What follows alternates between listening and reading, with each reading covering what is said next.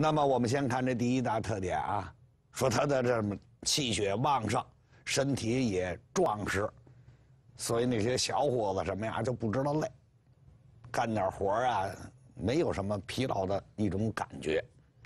那么在这种生理状态下，如果一不小心他生病了，当然他得病也不太多呀，但是不小心生病了，那你看啊，本身气血旺盛，脏腑充实。又得病了，那这是什么病啊？按中医来判断，大部分都是实症。所谓实症是什么呀？是正气不虚，邪气旺盛，两个怎么样呢？在身体内进行抗争，这就称为一种什么呀？称为一种实症。正是由于这种正和邪抗争有力。所以表现出来的症状比较的严重嘛，所以你看那小伙子有时候发烧，一发烧怎么样呢？三十八度、三十九度那就上去了，疾病反应的也很强烈，鼻子堵得也厉害，这个鼻涕呀也多，那个痰呀也多，而且是黄痰呀、浓痰呀，全出来了，症状反应的比较剧烈。所以治疗这一部分人的疾病。也大部分用什么呀？用泻实的方法，给邪气以出路，让他出去。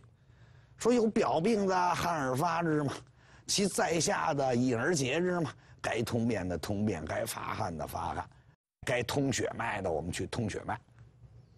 说到这儿呢，有的时候啊，我觉得也挺有意思。你看看啊，说这个老年人就又不一样了。老年人是正气不足了，所以他得病啊，有的时候症状啊不是那么特别的明显。所以你看，有时候老人发烧，很多都是一种什么呢？低烧，三十七度多，三十八度以上上的都少，三十九度以上怎么样呢？更少。有时候我们说他有点什么呀？烧不起来了。那烧不起来什么意思呀？就正气没有那么强大。它跟邪气的这抗争啊，不是那么有力，所以症状并不是特别的明显。